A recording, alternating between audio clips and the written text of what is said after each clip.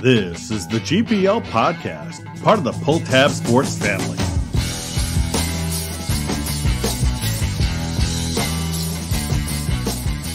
So right away, my confidence is it's doing really, really, really well before that, and then um, and then Don goes, "Can anybody on the ice take the penalty shot?" And the referee goes, "No, it has to be it has to be Ramsey." And I'm like, "Okay, there's shot two to the confidence. That's that's great." And he, and he You know, I, I think there is some shenanigans happening in the goalie community. Are, are you going to speak on that? In the goalie as a- community. Oh, as a yeah, former right. goalie? You know I got to ride with Goalie Nation, but um, Now, here's Jupiter and Vegoe.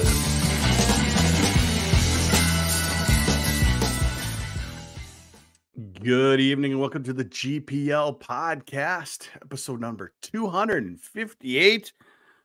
Vigs, good evening. How are you tonight? Doing awesome. This is a great part of the year. Things are starting to ramp up. People are paying attention to the pairwise. They're looking at conference standings, where teams might be going for conference tournament play. It's a Podcasting's been a little crazy this week. Yeah, there's been a lot of news this week for people to talk about. So I'm glad to see that the NCAA regionals discussion is going on still. And I'm glad to see that we're starting to find out what is goalie interference. No, I don't think we've actually figured that out yet. But what, what we'll see. Maybe do? we can get some help tonight on this this controversy. Well, we might be able to get some help here. We've got a guy who's new to the show, but not new to many of you. You, if you followed any Penn State hockey or even the Frozen Four, I guess you just say Viggs. He's he's been calling that the last couple of years as well. He's a man around college hockey. He He's is It's brave to come Brian- on with us. Yeah, Brian Tripp. Let's bring him in. Brian, thanks for joining the show. No problem. I'd say first time, long time, but I, I got to be honest. I just skimmed a couple episodes to get ready for this thing. That's quite all right. You know, we had some back and forth with Cappy a couple weeks ago. He's like, "Yeah, you should get this guy on." I'm like, "Yeah, we've been needing a Penn State guest forever since since they joined the league. We haven't Well, found you one, guys but- come highly recommended, and- after I heard that you make crack crack a beverage during the overtime, I'm like, I'm all in. These are my people. Yeah, uh, Viggs cracks something every week, and on special occasions, I do drink a, a bit more than I should. But that's the fun about it. We we have fun. That's that's the key. So, what can you what can you do? So, thanks for joining us. We'll get into more of some of the stuff you do uh, in a bit here. But uh, Viggs, big weekend in Wisconsin this past weekend a point a, a split uh, for points, but a little bit more for pairwise than you know a split would be. Yeah, just a reminder to all our college hockey fans out there when you get a win on the road, whether it's in regulation or in the three on three, you get that bonus percentage in the pairwise, which is what we're all concerned about right now. So, a win and a tie for Minnesota actually helps them overall as a weekend. It's kind of like a winning weekend for them. So, you see them get that boost in their pairwise and really solidify their place right now in that 2 3C range. You start looking at some of the sites out there that project where teams can finish. It means Minnesota is pretty solid in that 98% to make the tournament. And now they're starting to get in that position where they can play for seeding. Well, you know, I I, I picked you know four points for the Gophers past weekend, and you know I thought they would lose the overtime then win, but then they have winning in overtime Friday night. Uh, excellent play, and actually not a bad game all all around, was it? Well, Friday they had to weather the storm. I think They did. They did. Badgers really came after Minnesota, and Minnesota leaned on their goaltending and their structure probably a little bit more than the fans would like.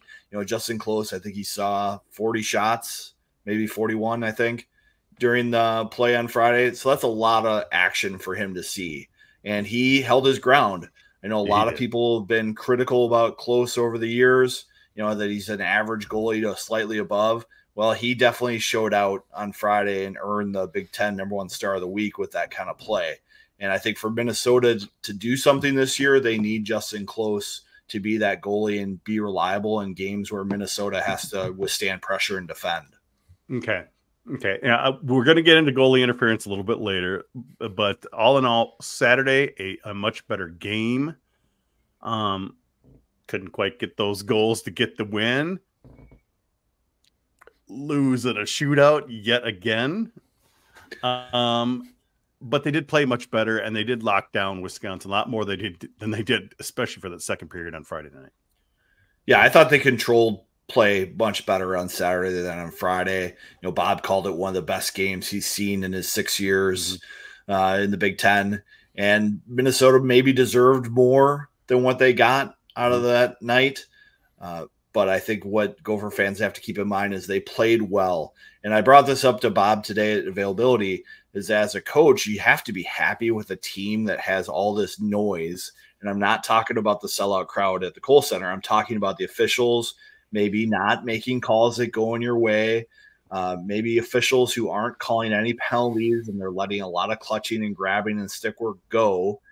And you still hold your game plan and you play consistent throughout regulation and overtime. And you don't really give the Badgers grade A scoring chances and you continue to work with your ground game and control the puck. And that's winning hockey. And I think when you're looking at Minnesota and you're looking for signs of maturity, being able to have a night like that where things aren't going right for you and you don't pout, you don't get mm-hmm. distracted, you stay focused and you stay in the rock fight, as we talk about in a game like that. So that's that's important, I think, for Minnesota to see because if that game kept going, you know, if you were playing 20 minute overtimes, I think Minnesota fans would have been happy to see that happen. okay. And on the flip side, Brian, you guys had a nice little weekend off. Um, hopefully you got hopefully the team got a chance to recharge. Did you get a chance to recharge? I saw you doing some videos from from wrestling, you know, kind of during that off week. How busy were you this past week? Yeah, so I do the broadcasting of the hockey games. It's just a small part of my job. I work as feature yeah. content specialist with all 31 teams here. So I actually missed probably the first month of hockey season traveling with football. Uh, mm-hmm. I just got a couple games in early in the year. So no, I, I, did not recharge too many of my batteries during the off weekend. Uh, the hockey team did; they had a sled hockey classic, great fundraiser on I Saturday for, yeah, yeah. for the State College Coyotes organization, and they raised more than seventeen thousand dollars. It was the second time doing it. They had nearly 500, 800 people there in attendance. Uh, really cool activity on Saturday morning. But the team was they were honestly a little banged up after the Ohio State series. Mm-hmm. Illness kind of running through a little bit. It actually did come, you know, even though they got some momentum finally against Ohio State, played well, saw special teams, goaltending get on track. Uh, I think it did come at a good time for them. But overall, I mean, it's 50 and sunny in State College last weekend. So the, the bye weekend did come with the weather being pretty nice. It's been that way here, too. It's, it's well, by the time you, well, it'll be warm tomorrow. You guys are coming tomorrow, but yeah. it's going to get cold again. But you're going to get here and there's no snow. It's brown. It's ugly. It's not February. Um, but you mentioned uh, sled hockey. I enjoy that. I love watching the Olympics. Uh, I want to say those guys are beyond athletes. What they can do. I mean, you know, some of them have literally no legs, and the strength and the balance they have out there it's just it's not just inspiring it is just like it's jaw dropping at times. Yeah the dylan lugris who's up for the hockey humanitarian he's a junior forward on the penn state team. He recognized that this team needed a way to find a way to get funding for ice time equipment mm-hmm. anything and they didn't have it. So they started going to their practices and doing anything they can to participate help and they were gassed, like completely gassed after the the game last week when they played. Uh, Guy Gadowsky, he's gone to the practices to the head coach. He actually played for the sled hockey team, the guys who are, are always playing, guys and girls who are always playing in that, and he deflected the game-winning goal in for them. So I think he's been telling the players about it all week. But to watch the Penn State hockey team, Division One athletes try to sled around on the ice. Uh, there are a couple guys with like training wheels on, guys going into the boards. Uh, they're pretty fortunate no one got hurt doing this thing. Uh, but it, but it's really cool how they've embraced it. Uh, and not only was it this event, they've been going to practices every Sunday with them and trying to help them find ice time. And you know, it shows that hockey really is for anyone. Um, and I think the event was so much fun. Uh, it, it was just as much fun to see the the sled hockey team out there, and then to see how bad the Penn State hockey players were at the sled hockey itself. Uh, like I said, it's it's not easy. I, I could not imagine doing it. I could barely do regular hockey Vigs. You've seen me play. I could barely do that. Yeah, I'm always impressed with the sled hockey players. Uh, just like the wheelchair rugby players, I think that's gotten a little bit more national attention over the years. You know, the people who get in that, there's documentaries on that. I think sled hockey is something that maybe those documentary people should be taking a look at because sled hockey is just as fantastic and the stories are just as amazing. And and a, and a big thing for former Badger coach uh, Jeff Sauer before he passed away was his involvement in sled hockey was gigantic in their success yeah, it's, it's huge to see people get involved and give back and, and get that experience because I think you know it's rewarding not only for the sled hockey players but for the people who volunteer as well. So a good way to recharge, Brian. I did have we have two TVs in the living room. Did have both TVs up streaming games all weekend too. So so watch watch anything we could. You're, you're hockey people. That's what you're gonna that's what you're gonna do on Friday did, and Saturday night. Did you use Big Ten Plus to stream all those games? Big Ten Peacock. Notre Dame was on Peacock too. So oh yeah, you got that too. I I was watching games all weekend on Big Ten Plus, and I hear people complaining and why isn't this game on TV? We, we talked about that last week with Todd Milewski. There's reasons behind it. Mm-hmm. Um, but Vigs, I love Big Ten Plus, and I, you know, I, it was great. I had, you know, the Minnesota game up on my big screen TV. I had the Michigan uh, game on my laptop, just kind of checking in with that. I I think it's a great service. I need we got to get people to embrace this thing. It's part of the Big Ten moving forward. And I know some people are having a hard time with some of the announcers that are putting on some of these broadcasts. You know, that's up to the host school what they choose to do. You know, who they have behind the mic, but the the product is pretty good. You know, I compare Big Ten plus to the NCHC service. I think Big Ten's a little bit ahead you know, I just got my Peacock getting ready for uh, some mm-hmm. Gopher hockey series. I got to see the Michigan State Minnesota basketball game last night that the Gophers won. I was actually at Williams Arena to see the Gopher basketball team beat Northwestern this past weekend. So, you know, it's it's the way of the future, and the Big Ten is investing in a lot of these things, and it's it's pretty dependable. And we had that one announcement uh, with ESPN and a couple other entities. They want to do their own new streaming service. Sounds like their own kind of cable thing almost. Sounds like a big bundle. I think it'll be streaming. It's just going to be combining a lot of the sports fan channels okay. into one. It's just going to be another option for people. You know, we're still going to want Big Ten Plus. We're still going to want Peacock. Eventually, I think Paramount is going to be coming in for basketball and football. So stay tuned, mm-hmm. everyone. So, Brian, you know, we mentioned you do the Frozen Four. How long have you been doing hockey itself?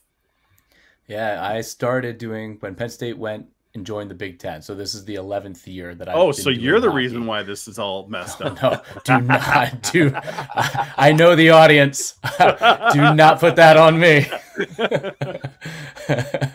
I know the oh. audience. I'm not. Yeah, uh, eleven years. not falling for that lion trap. Jube. No, he just there's, saw it. There's no chance. Walked around, very smart.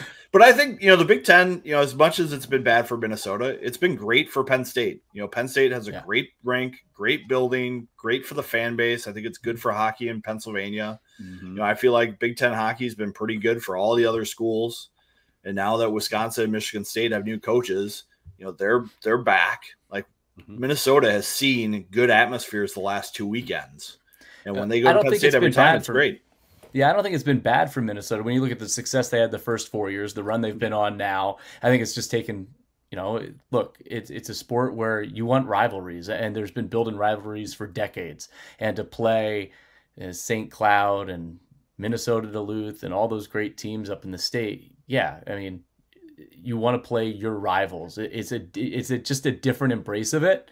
But when you look at the success, four teams pretty much every year now getting into the NCAA tournament in the Big Ten, uh, two teams last year in the Frozen Four, a couple years, three teams in the Frozen Four. The Big Ten, yeah, they haven't cracked through and won one yet. Uh, really thought it was coming probably four or five years ago. I think it's just taken a while to embrace because, you know, it is different. Um, but overall, I think the league's been really good. uh, TV exposure on national television on Big Ten Network. FS1 has been really good. Um, yeah, I think when Penn State joined, you thought that that would be the impetus for other big schools to make the jump. You know, not your LIU's, Lindenwoods, Augustanas of the world to make the jump to Division One hockey. And you know, by now, I think we thought you'd have an Illinois, uh, a Northwestern. Like, who else in the league was going to jump and do it? Would it be opening the door to Southern hockey in the SEC? Would some of these Pac 12 schools besides Arizona State make that leap? And because it hasn't infiltrated other Power Five leagues and whatever it's going to look like now that all the conference realignment's happening again, I think that's where you know you start to get that divide into why why was this significant, why wasn't it? Um, uh, but overall, I I think it's been really good for the sport. You now have a Power Five voice with the Big Ten, the commissioners uh, having that voice at the table at an NCAA level.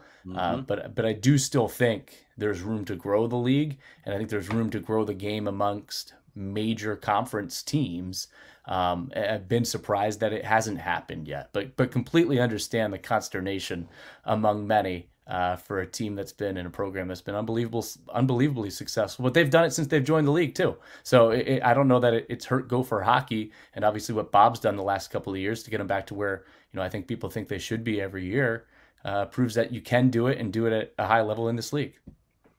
I think it's more about nostalgia, but I, I think rivalries are huge. And V's, I'm not sure this rivalry of Penn State was that good until Penn State started kicking Minnesota's butt every time. Oh, I think that made a big difference. I think the players for Minnesota realized they were going into a tough atmosphere at Penn State, and it just kind of grew a little bit of hate, you know, as you know, Pavlychev and Smirnov and Barratt, you know, started chirping the Gopher bench, and, and there started to be some bad feelings there. You know, that built up. I just don't know if the fan base at Minnesota has totally embraced the rivalries of the Big Ten outside of Michigan and, and Wisconsin you know they're they're growing but there's a lot of fans who do crave the local rivalries and you know you look at minnesota they're always going to be scheduling four series against in-state schools. They're just going to be rotating through who they play and who they skip. So they'll still their, do their best to maintain those while they continue to build the big ten rivalries. Because there aren't Yeah. bad teams in the big ten. Everyone's got a good budget everyone's got good support Mhm. and there's plenty of good hockey players in the country and a lot of them really like playing at big ten schools because of all the support they get And, and it looks like we're going to have good crowds this weekend. Oh, go ahead, Brian. Yeah, I was just gonna say you have unbelievable environments, unbelievable buildings. Um, with what Wisconsin's done in bringing Hasty there, and I think Adam Nightingale at Michigan State. You know, there, there are no bad teams in the league right now. Ohio State has, has a bit of a down year, but they were one win from a Frozen Four last year. You know, Penn State sixth in the league, but one shot from going to the Frozen Four last year. Um, and I think Guy and Steve has had as many 20 win seasons as anyone else in the league during the last seven to eight years. But I just think the league, the margin between the teams is so thin.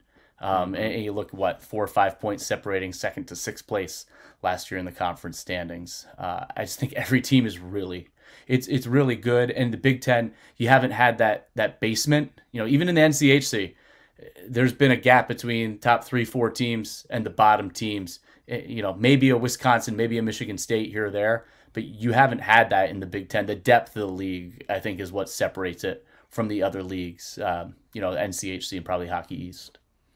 yeah i've heard bob joke sometimes it would be nice to have an eighth team be a basement team because there's no easy weekends in the conference and you know you, you just invite illinois and northwestern and they could be that team for a couple years you know just be fine with him Well, people thought it was going to be Penn State for about five, six, seven, ten years, and it took about three years. And when they went on that Big Ten tournament run, all of a sudden they're in the NCAA tournament and have Denver in a regional final. Uh, I think even here, look, everyone knew that it was going to be tough, but to have the success they had against Blue Bloods, Michigan, Minnesota, uh, Wisconsin from basically year one, year two, uh, it caught a lot of people by surprise. But it's a credit to what Guy did to, to get them to that point and the people that, that they brought in. You know, they identified players that had a chip on their shoulder and wanted to, to prove something at this level. And now it's about finding the players that can get you to sustain success and, and compete against teams that have had players that are going one and done to the NHL. Well, it's definitely exciting time. We're, we're going to get into that Penn State series later because, you know, Vegas, you talk about the rivalry. It's, we're looking like at a full barn at least on Saturday. They, they announced a sellout for that, I, I believe, over a week ago. Yep. I think there's a lot of youth hockey groups that yeah. want to get there. So there's going to be some young energy in there and, and growing new fans. So I think it should be a great atmosphere this weekend. I know the players are looking forward to it as well. All right. Well, one thing we need to do, Vigs, is talk about uh, one of our sponsors here, and you know, our sponsor, a new sponsor last week, Will Anderson Insurance, is now on board with us. Yeah, Will Anderson. He's a hockey guy. He played for the Gophers, mm-hmm. fixture in his hometown community, always giving back. But you should close your eyes and think of your insurance agent. Who is it? Someone you used to know decades ago in high school, friend of a friend, ex boyfriend or girlfriend. Now ask yourself what has your insurance person done for you lately? Are they saving you money? Will they answer the phone when you call? Do you even know their number? Or better yet, reach out to our sponsor, Will Anderson Insurance. Simply put, Will insures you the same way he'd insure his own family. While we can't promise he'll save you money, let's just say you should sure get a quote. Call 612 361 7283 or visit willandersonagency.com.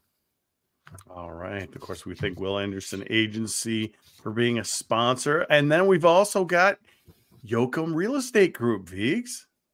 If you're in the market to buy or sell a house, tis the season. It's a little known fact that Super Bowl Sunday here in the Midwest is the official trigger point to list your home or start looking. And if you're going into the market, whether you're buying or selling, don't roll the dice on your biggest asset. Sarah and Jody bring different skill sets to the table. Sarah's a lawyer by trade, ready to help you see around corners. And Jody is a born creative, there to unlock your vision and creative side. Call the twins at Yoakum Real Estate and visit yoakumrealestategroup.com for more info. All right. And of course, we thank Yoakum Real Estate as well. Let's bring Brian back to the conversation. I, I know Viggs wants to talk about this, but Brian, I want to know can you define goalie interference for me? I mean, certainly watched the games last week. I'll say this even head contact, all the stuff in the Big Ten this year. I just wish there was more consistency from week to week. That yes, that's I just want consistency week to week in the league. I, I don't feel like you have uniformity amongst the officiating crews week to week. Oh, oh, hold on a second. Wait, look at this. Who's watching the show right now but Cappy himself? Where's his finder's fee? Uh, Cappy, I heard you, you didn't even pay for lunch. Cappy, maybe we'll get you a gift card that you can use next time you see Tripper on the road. He paid for half. Oh, I mean, oh we, we love it. throwing Cap. Got to throw Cappy under the bus if he's watching. Sorry, that was a little too easy. Um, Viggs, your thoughts? Sorry for the distraction there, but well, I just think something like goalie interference and head contact is a judgment call. Uh, Steve Piotrowski, Big Ten head officials, was on a show this week to talk with uh, Jim Connolly and Ed, and he said, you know, even when they do training and they go over, you know, six head contact or six goalie interference, very rarely does their group all 100% agree on every call. So a lot of these things, you get different camera angles and different perspectives. I'm sure most of the people listening to our podcast right now feel like yeah. the Gophers have been cheated out of three goals. Um, I'm not going to out Fight Club 30 on our message board about his explanation, but he's a former D1 hockey ref, and he looked at each call and he said, "Yep, I can see what the ref was seeing on all these, and I agree with him that they're all no goals." It's frustrating. I think you know, I saw the first Nelson goal of the three as clear interference because he definitely could have avoided the goaltender. The second one with Oliver Moore getting pushed into the crease and making very, very light contact with McClellan, and the goal gets waved off. Very surprising to me. Uh, the third one, the only reason it's an issue is because McClellan tried to milk getting knocked over. You know, if he just gets up right away, he's probably in clear position to make a save, but instead he's trying to milk it for some sort of injury. that's where now as a ref, you've bailed him out for doing that. And so it's kind of a challenging thing there. You know, I, I retweeted a video from I think four or five years ago, Minnesota and Wisconsin, where a Gopher player got checked into the net and Ben Brinkman got a goal. You know, the ref said, Hey, you did that to your goalie. I'm not bailing you out. So it's very much a judgment call. It, it is a judgment call, but in this specific case, Viggs, McClellan had a chance to get up, squared up to Brodzinski. Brodzinski made a pass. He started getting squared up to that, didn't make the save. That's where I think a lot of people had some issues with it. Yeah, it it's a judgment call, and the ref judged that that collision was enough of a factor that he was going to wave it off. It's not written or explained clear enough where he's clearly wrong. Mm-hmm. It's clearly a judgment, and clearly his judgment differs from Bob Motzko's judgment, but that's why he wears the stripes and Coach Motzko wears the sweater vest. Now, my, you know, my kind one... of um, my thought on this, Brian, is that yeah, I think you know the ref's standing there in the corner watching this happen. He sees he sees Nelson kind of get tripped. Yeah, I'm like, oh, he tripped into the goalie. Oh boy.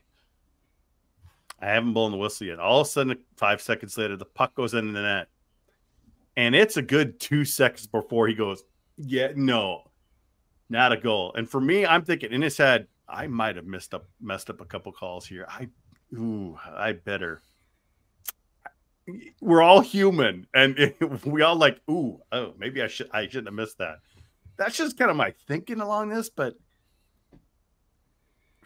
this could decide a national title championship game down the road for any amount of teams i was just going to say we had one the second one that you referenced where you know i thought it was hard from the overhead angle to really see when i think it was vorlicki and moore and vorlicki kind of hit him back into into the goalie. You know, we had one where even if you don't contact the goalie, but you're positioned in the crease, as Moore was, if you're in the crease and you're taking away the goalie's sight line to the puck, it is interference. So I, I think like you couldn't tell when Vorlicki initiated that contact to, to bump him in, but if he was positioned there before Vorlicki even added to it and bumped him into McClellan, like I didn't have a problem with that one. I, I agree with you guys on the third one. I think there's a lot of ambi- ambiguity on the third one that you're talking about. But the second one, like I, I can see that one based on how it's been called before and where Moore's positioning was in the crease. Vigos, you get that look in your face, Vigs. What do you got? I also think in an NCAA tournament, the judgment changes a little bit. You know, this is just a regular season game where this is the way things have been going. You know, it's not as big of a scene to wave off a goal. Mm-hmm. I think in the NCAA tournament, you know, things are maybe a little bit different, and maybe that's a good goal. Because you know, one thing in college hockey and NHL hockey, you know, we we try so hard to create situations where there can be offense, and when you're giving the defense ways to bail out your goalie, you know, you're starting to get into a slippery slope for me. Is a, is it now a strategy to to bump players into your crease to make contact with your goalie if they're not going to call anything there? It's it's just not great for the game if that's going to be where we're going. And I did hear, I know that uh, we we got Eric Brever here saying that Big Ten agrees they were wrong. I talked to somebody at the university today, and he affirmed that the Big Ten says it's a judgment call, and their referee has the judgment to make the decision the way they made them. So I don't know if it's quite the right. I think Jess thinks that the Big Ten maybe thought they were wrong, but no, I heard I heard a little bit different. So, and Brever's a lawyer, so. oh, it, it, it it's it's just a tricky situation. Um, it's one weekend. I it's it's not the worst thing in the world, Vigs. Um, I the one thing I, I had another note here. Uh, shootout becoming a sick joke for the Gophers.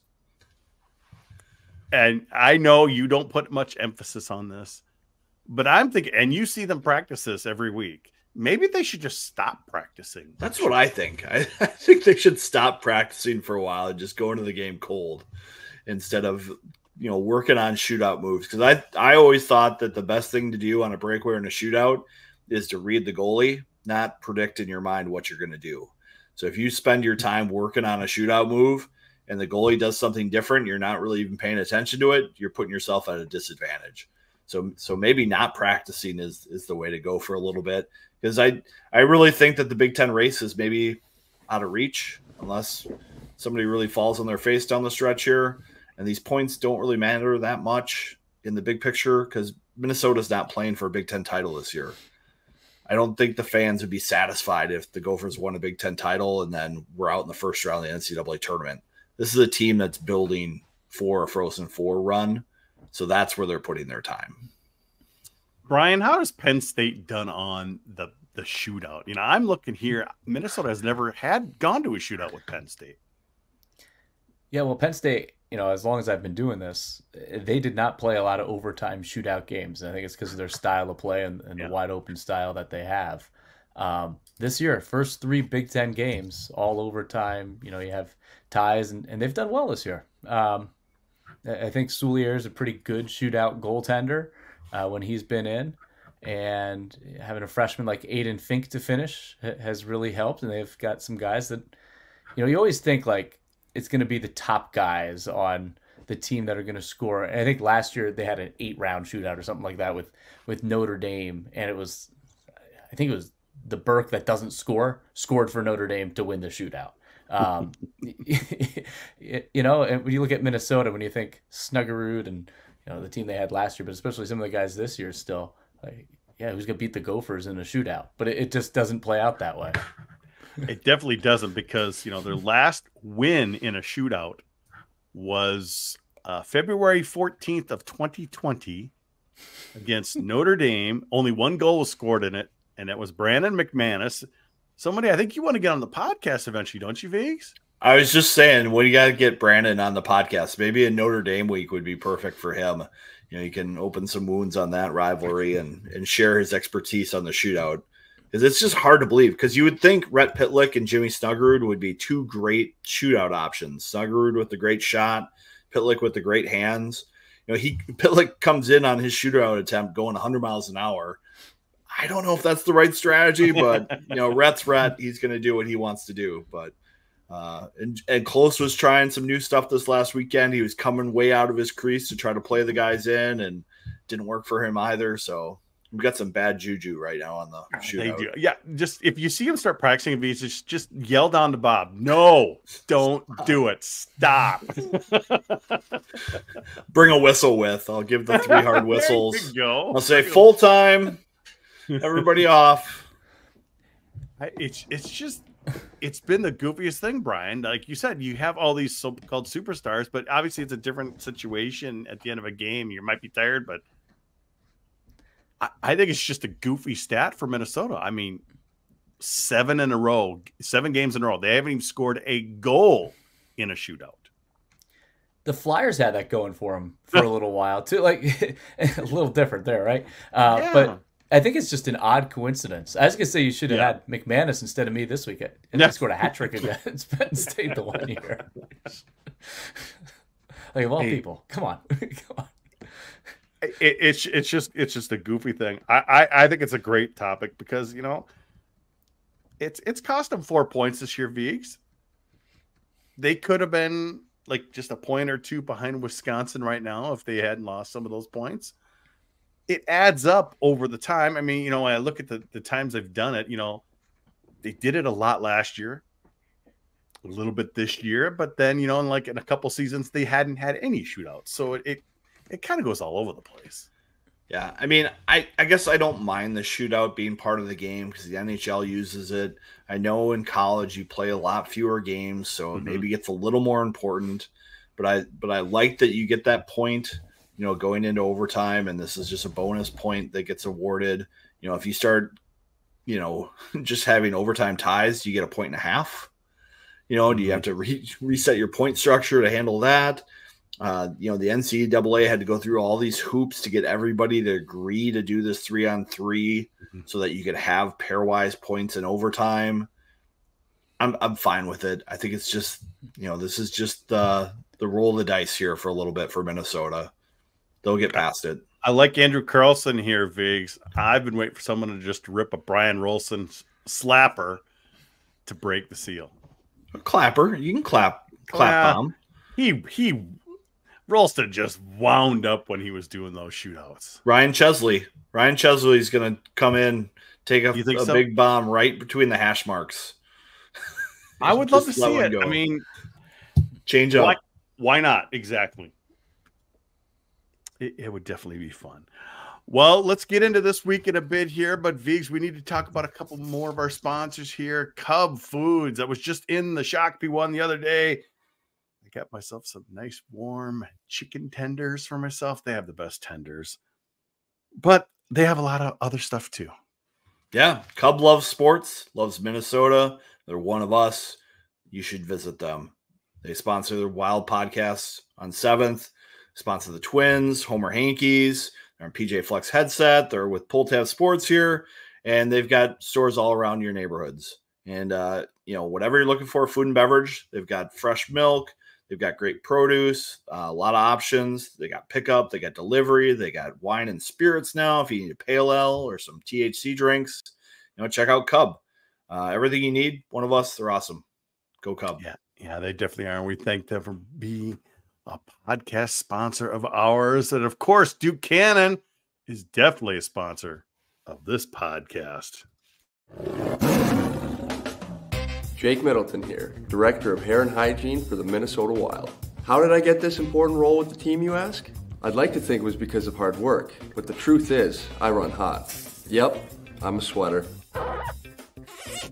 In my role as Director of Hair and Hygiene, I'm sort of like a player coach. Let me pull out the grease board here. Well, it's not actually a grease board, because there is nothing dirty about Duke Cannon. How do I help the guys stay squeaky clean? Helpful reminders. It's simple. Tarps off, Duke Cannon on. Say it with me. Tarps off, Duke Cannon on. Tarps off, Duke Cannon on. Pick the scent that suits you. Sawtooth. Thick body wash. Extra thick. And my favorite, Midnight Swim. Tarps off, Duke Cannon on. Duke Cannon. Work harder, smell better. All right, we're all back here, and Penn State's coming to Mariucci this weekend, Vigs. What are you looking forward to?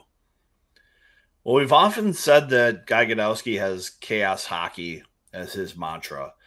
I feel like he's tried to get away from that a little bit and put a little more structure into his team's play.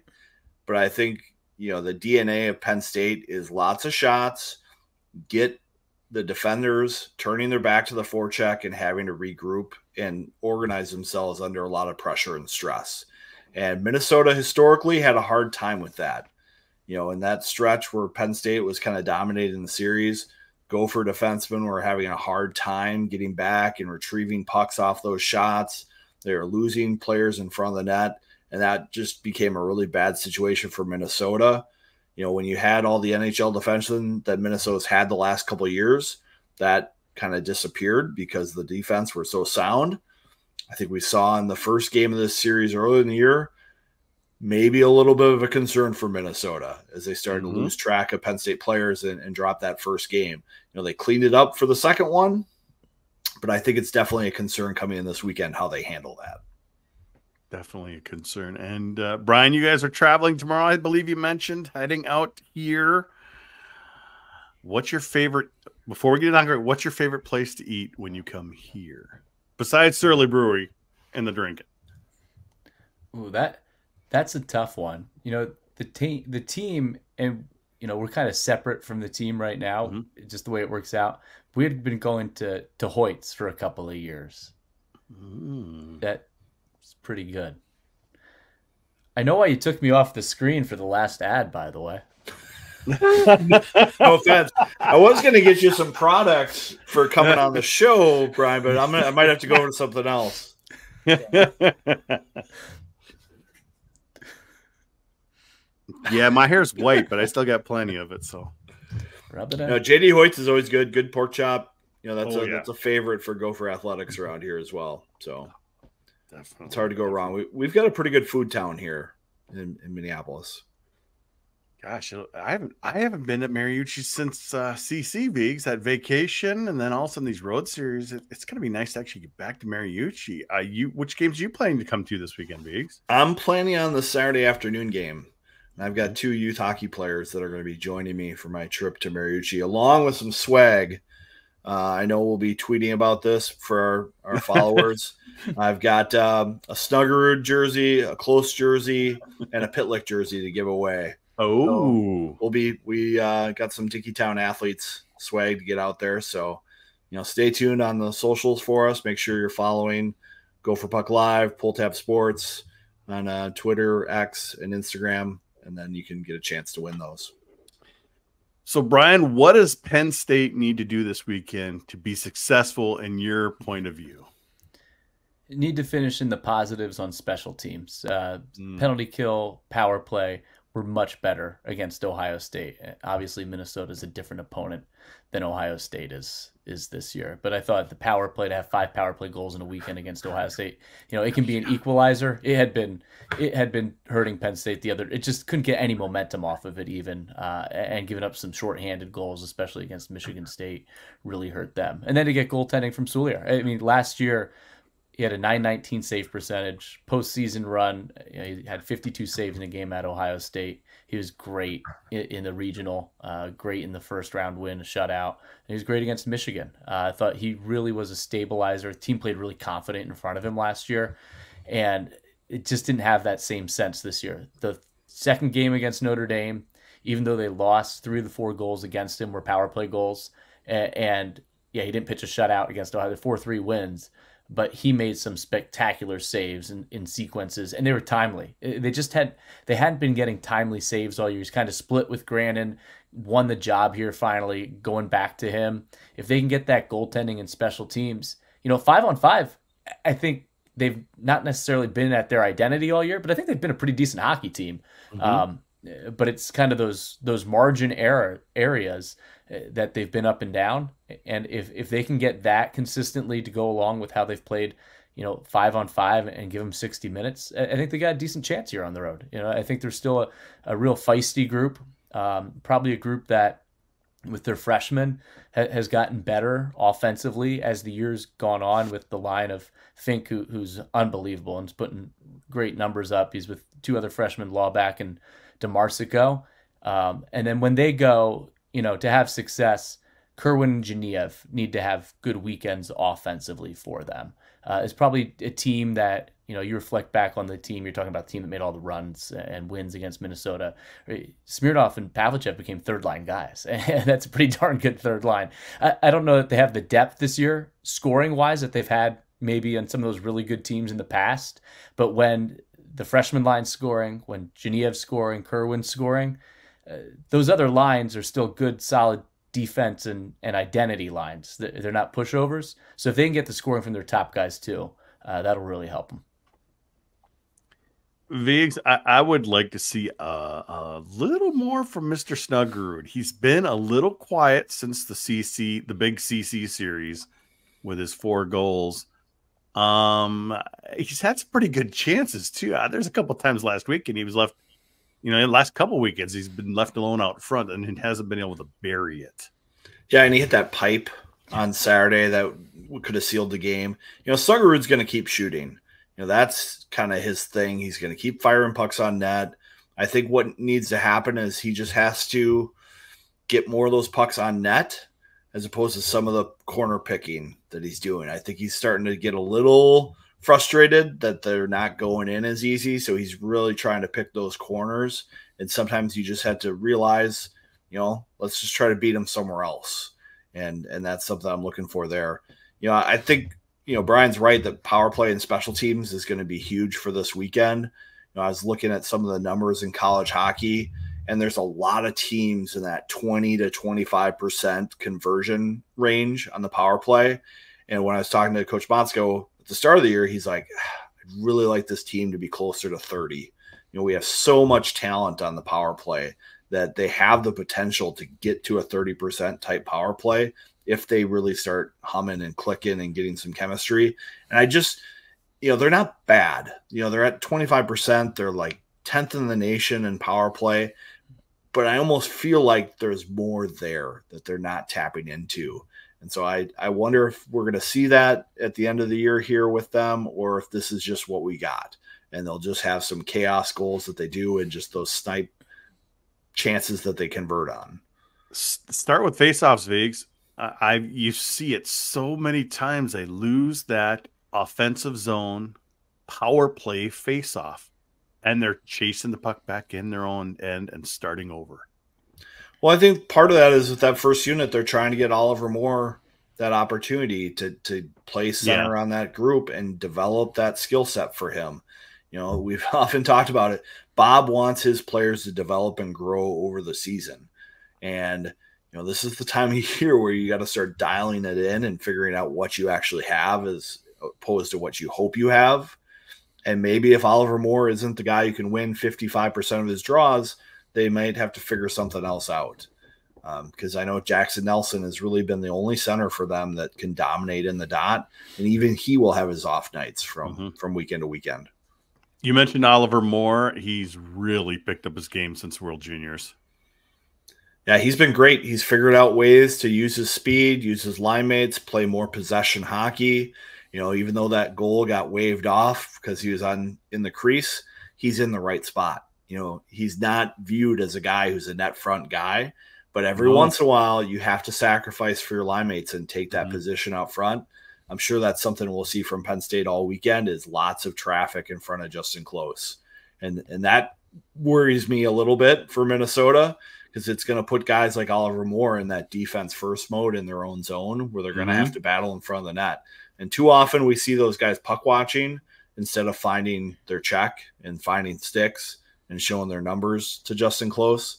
They're often watching Justen Close try to find the puck. Well, Brian, one thing I do like that Penn State has brought through this league is offense.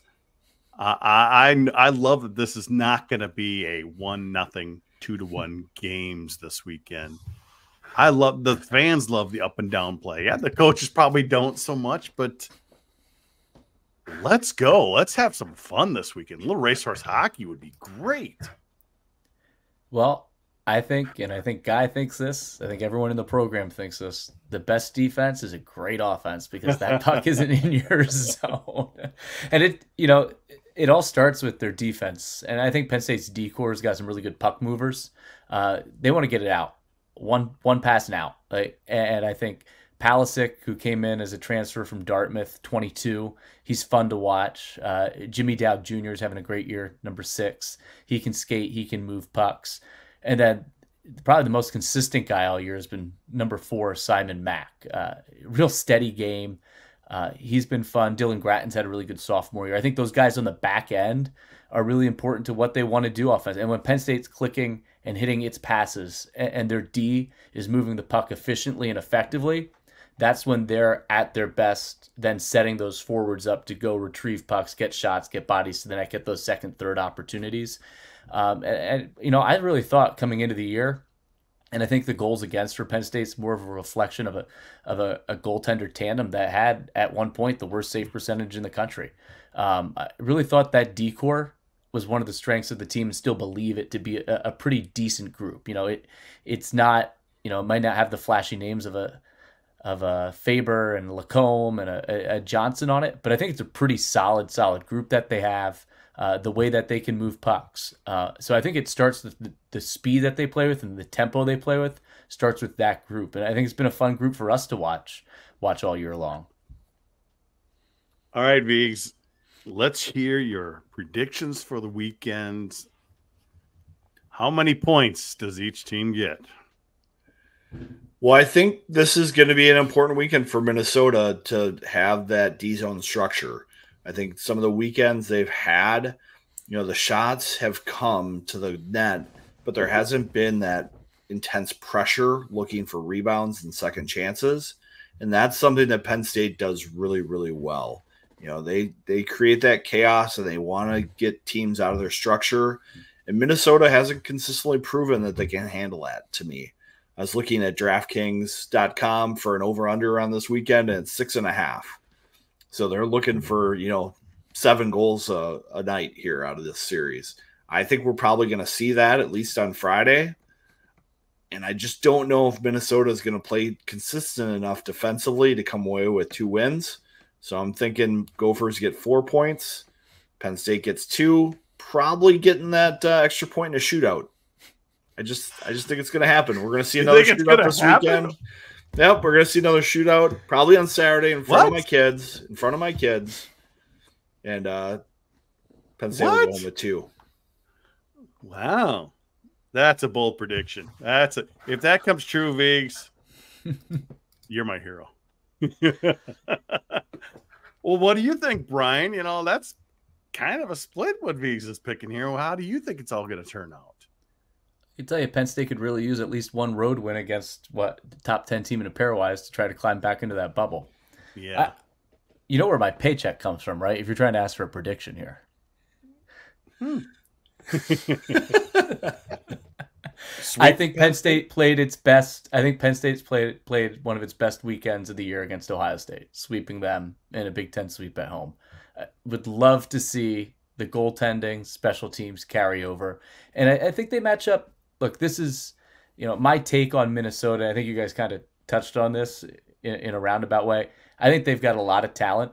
Like when you look at the teams in the league this year, I think Wisconsin, maybe not the most talented team, but really buys into the system that they play with what Hastings has done with them.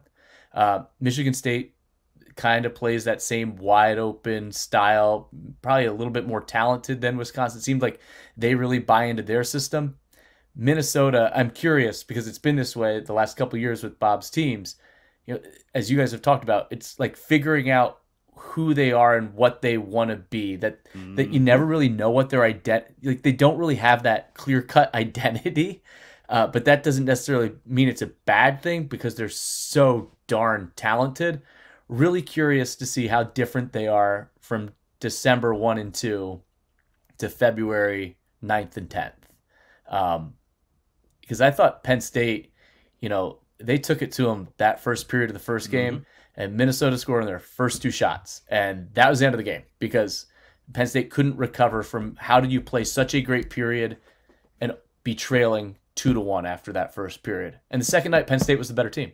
Um, granted, it's at Pegula. It's a place that has haunted Minnesota over the years. You know, Mariucci's a, a different animal. Um, but I thought Penn State played incredibly, incredibly well in that series and I thought they matched up fairly well against a really talented Minnesota team um, that's still deep, but without that top line to drive it. Um, you know, like Jackson Nelson's like my favorite player in the league, 200 foot guy. To see had one power play goal this year, I'm like, what's going on there? Um, yeah, I'm curious. I'm really curious. I don't have a prediction, but I'm curious. I, I person, I'm still not sold, Vigs. I know you're trying to thinking this team has figured it out. I don't think they've figured it out yet. I hope they do, but I still see a, a split type of a weekend. You know, like lose Friday night, win Saturday night convincingly. It's like that's kind of what's happened most of the season this year. As Bob said, they've been very consistent at playing well Consistently one night. inconsistent. yeah, playing well one night and not well the next. And Brian, thanks for correcting me on how last year's went. I think I had it flipped around as I thought back to my December brain. But yeah, one game they've been good, one game they've been off. And uh, that's definitely been the trend for them. We'll have to wait and see. Like I said, what, do, what like are you thinking, Jupe? What are you thinking? I think, think it's going to be split. Three, three points apiece. Yeah, I just prove it to me they can't seem to put it together. I'm like, it's oh, we play we play five out of six periods. We played one good game. We played one bad game. I, I still need it kind of proven to me, Vigs. Yeah. I just think that the style of play that they've played the last two weekends, they essentially have played 11 good periods out of 12. They have been playing very consistent hockey. And I always tell like my youth hockey players – don't let the results dictate how you perceive your performance. If you're playing well for 11 out of 12 periods, things are going pretty well. And and you have to trust that that's going to carry you forward into the games in the future and stick to that formula. Don't try to do things that aren't part of your game plan. And that's what happened in the one period where they didn't play well against Michigan State. They were chasing offense and the interesting thing about that is when Bob criticized it, he didn't criticize them for trying to score. He criticized them for not coming back on the back check. He's okay with them taking some chances, but you better believe if you're not giving your full effort to come back and recover after taking that chance, that's what he's going to get on you about. And that's what Minnesota hockey is. Take chances, but come back and play hard defense. Yeah, I think you look at the results, and I didn't see both Michigan State games. Saw how they went, obviously, to be you know dominate the first two periods of the first game and lose it at the end. Uh, then to win on the road, and I thought they were rolling. Uh, and then what they did, I know they didn't really score a ton last weekend, but to do that at Wisconsin, those crowds, they're playing some pretty good hockey. Like just just the, those results themselves speak volumes because after we saw Wisconsin and Michigan State, and I'm not saying Penn State played well those weekends, I thought those two teams are legitimate national championship contenders. And to do it on the road, as I'm very curious. That's what I said. I'm really curious to see where Minnesota's at mm-hmm. and back at home against, you know, a Penn State team that that's trying to get on track and seems like it may have and has always given them trouble. Really curious how it plays out more than like I, I think it's hard to get a gauge on exactly what's going to happen. Well, it's going to be a fun weekend. It sounds like we're going to have some great crowds, which is what I'm looking forward to. I actually like the early Saturday game. Vigs, like you said, a lot of youth, a lot of kids going to be there. It's sold out more than a week in advance, so over 10,000 tickets sold. So that's going to be fun.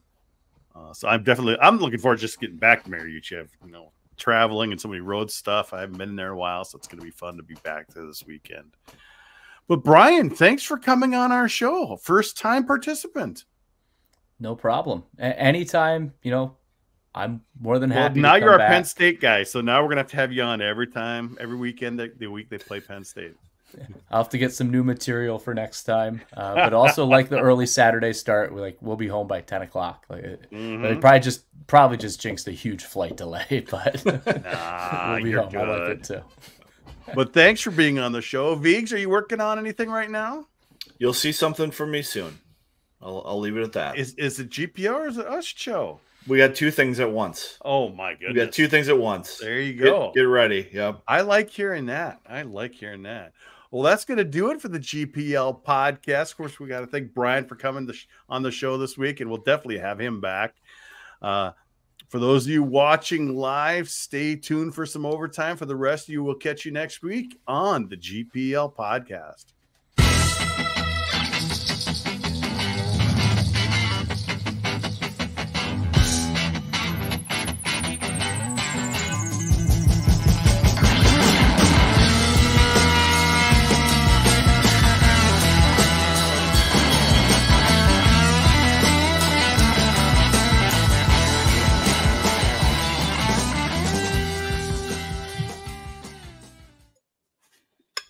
All right, Vig, show us. These are a little bit of a mess around here. I got uh, something from Drekker called the Nightman Cometh. It's got kind of like a Nittany Lion type logo. Like I guess that's the Nightman for this one. So it's a bourbon barrel aged Russian Imperial Stout uh, from Drekker, our friends up in uh, the Fargo area there. So I was looking for a percentage on here, but Let's see the pour. Let's see the pour here. Here we go. Ooh, it's another dark one. That's really another dark, dark one. Well, it's the Nightman cometh. It's got to be dark. Nice. There you go. So, all right, let's know how's it taste. Give it a taste. This is great. I don't know if I can say I love all the hazy stuff coming out of Drekker, but they do this one really, really well. I love it. So, very Here's, nice. So I love how Cappy was chiming in there during the show. All time great guy right there. Yeah, Cappy's been a great addition. I, I think he's been on with us 12 or 13 times, something like that. He's kind of our go to guy now. You know, either Big Ten or, well, Ohio State. We, we always have to have him when they play Ohio State. Unfortunately, his Ohio State team is good against everybody except for teams in the Big Ten this year.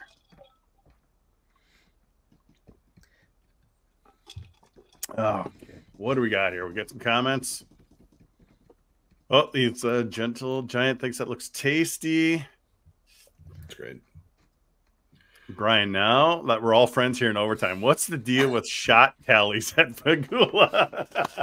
if you look at Penn State's home road splits, they don't change. That, like, I- know You know- Minnesota people talk about this all the time, but they their home road splits are not different. So that's my defense of it. Here's, uh, I think it's better now.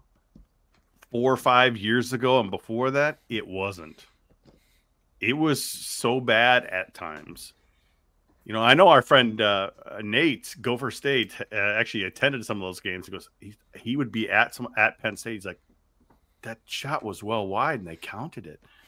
In fact, I even know that one stats guy from Minnesota watched on TV and did his best chance, his best tracking of shots for the team so he could give it to the team. So it, it, it used to be more. I don't think it's as bad as it used to be, but it used to be a little more hmm. off. I think they've had a little better training on what's a shot. But their shot average has always been about 39 to 4. So so it's not like their shot average has hmm. changed over the years. But uh, really hey, I like like I've heard it. It's how they play and it honestly if it was that much different home and road, I'd buy into the I'd buy into the conspiracy, but I I honestly I honestly plus we don't. just like that fun I think it makes too. for a great I think it makes for a great topic and I know it makes Gopher fans mad, so I think they should ramp it I up even more next time. See, this is the kind of banter we need in the college Yes. world of just embracing, embracing the conflict. Yeah, Penn State has had the same the same guy do stats for the last seven years now. Guy, They're- or is it there's just one person? I hope there's more than one. The one well calling the shots like there's someone so they they have someone who inputs, but someone yells, you know, shot wide, shot save. Uh, there were first two years someone, the next two years someone, and then the last seven years it's been consistent. And the guy the last seven years has done an unbelievable. He, he's good to work with. He's done a good job. He's got a lot of shots to keep up with, a lot of shot attempts, Yeah. a lot of shot attempts. Vigs is uh was the was the beer of the week sponsored by Rob Shield this week, or is this a different one? This one is not. It's not. Yeah. And Rob Okay. Shield is actually the official scorer for Gopher Hockey. He has, he has donated some beers. I thought this might be a week, you know, I, I don't want to get him involved with this show. So, you know, Brian, you- you're gonna have to watch yourself with these stat guys when you come into the rink because they're gonna they all they, a bunch of them watch this, so they they'll probably. well, have I think Rob's gonna miss the Friday game. He'll be at the Saturday game. He's not gonna be at the Friday game. He's got some high school, some girls' high school hockey with his kids. So So, Brian, do you get to uh, see a lot of Penn State practice? Do you do you hang around the rink and take that in and and Yeah, I probably go what two, guys- two, three, two, three days a week. Try to stop on by uh, when possible. I heard Guy kind of talk about how he's kind of changing his philosophy a little bit with how much chaos and how much structure he puts into his team. Have you noticed that at all with watching them as close as you do? I think when Giuliano Pagliaro came in as an assistant, he's now associate head coach. Uh, with his background in goaltending and, and defense, um, you know, I, I think guys acknowledged and admitted that they did tweak some things. Um, so I think this is this is year three for Pags here. So you know, I, I think they still want that same identity, the same purpose, tenacity. Um, but but yeah, he, he's talked about a couple of things that maybe they've tweaked over the last couple of years. So I've noticed a little bit like they're a little less aggressive forechecking. Uh, Don Lucia's uh, favorite thing was if you're late for the dance, just wait for the dance to come to you. so if, if you're not going to apply pressure on the forecheck, just wait for them. They'll they'll come to you. So I've I've noticed that a little bit with Penn State as I've watched them this year, as they do that a little bit more often. As before, it was just like chaos. It's just like send guys recklessly after the puck and and try to create that chance. And I think it's adapting to the personnel that that you have. Like in, the beginning, you know, I'm not sure they were recruiting the types of the same talent of players that they've been able to attract the last couple of years. I think there's still that goal of you know attracting some kids. Uh, Aiden Fink seems like he, he might have a, a chance to really go and, and, be something, but you're still trying to attract. You know, Pittsburgh's so big right now, and, and, as you guys know, Cooley coming out of there, but um, this is that era where the kids who grew up watching Crosby and Malkin, uh, they're they're college age student athletes right mm-hmm. now, um, and I think Penn State's done a really good job. You know, Barratt obviously was probably one of the top ones that they've they've gotten here. Holtz was, was a big time player, was committed to Wisconsin.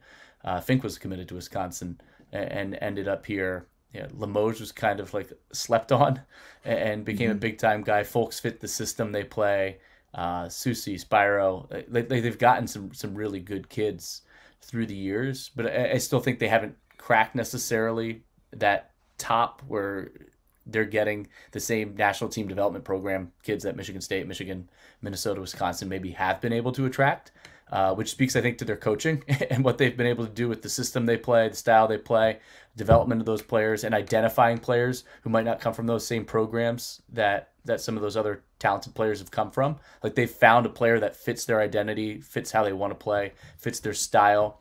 Um, maybe sometimes a little bit older. And, look, if you're 23 and you're going against an 18 year old, uh, I'm not going to say 17 because Celebrini's on an unreal level, and the slap shot one timer he had the other night in the beanpot was like ridiculous. Um, but they've attracted players and have have a real good idea of who fits what they want to do. Um, so I think it's kind of marrying that with with the skill thing, and also when you're changing the, the players or you know who you're attracting, eh, that may impact what you want to do systematically or schematically. I think I think as well. Got a question here from Ryan. Has PSU development or developed any good rivalries with any schools in particular in the Big Ten or outside of the conference? I think a lot of the rivalries for Penn State started just being the natural Big Ten rivalries. Like when you're mm-hmm. a football blue blood, like Penn State is, uh, immediately anytime Ohio State steps on this campus or Michigan steps on this campus, uh, there's that immediate hatred. like yeah, like that that immediately is going to happen. I think because of the way the Penn State Minnesota hockey games went over the first decade of the Big Ten, I think that developed into a great rivalry. I, am not sure if it carried over to the fan base at Minnesota as much as it did here. Um, but I, I, thought that was a great on ice rivalry. I think the success Ohio State had and the way they play, like one year Dakota Joshua came here, Ohio State got a sweep, they threw a broom on the ice. Um, I, thought that led to some really good on ice moments. Uh, I don't know that it's there yet with with Michigan State, but still, like like being a football blue blood and this is no knock on Minnesota, but it's just when you're mm-hmm. playing Michigan State, Ohio State, Michigan in any sport, it doesn't matter. That immediately is a rivalry game. And that's what it is for Penn State. Outside of the Big Ten, you know, they've played Robert Morris, Mercyhurst, kind of those those local teams. Uh, I think because Denver was a team to knock them out twice, uh, that that was viewed as oh, we got Denver as kind of like the team to get them um, but you haven't had that rival. Um, and I should add Notre Dame for rivals. You know, and again, that probably dates back to the football thing, right? Mm-hmm. Notre Dame, Penn State football is going to carry over into hockey. Andrew Carlson, the players clearly feel the rivalry. Knies and Cooley had a blast taunting the fans there last season. and the fans probably gave it right back to them oh, first. That's probably why oh, I they love that. you know, you know, you mentioned you mentioned the broom thing years ago. Probably it's almost almost 20 years ago now. I don't know if you were at the Duluth that weekend, Vigs, when Erik Westrum. Well, Minnesota got swept in Duluth, and literally a hundred brooms came flying onto the ice from the stands. And did you know Erik Westrum tried to throw one back at? I thought it was section? Ballard who did that. I think it's Erik Westrum. No, I think it was Ballard. Eric we'll see what the fans see what the fans remember uh, in the chat because I thought it was, it was no, it wasn't. I thought it might have been Ballard. Erik Westrum, Westrum. who is a, a famous Gopher hockey player from Apple Valley, who is now coaching high school hockey, and his behavior recently got him a three-game suspension for conduct unbecoming of a head coach. Really? yes, Who's he He's- coaching? uh, it's escaping me at the moment, but it was the game against Edina. I think it was. Well. Edina. Edina can bring that out in a lot of people. Yep. Okay, folks, who was in Duluth back in 2004, maybe?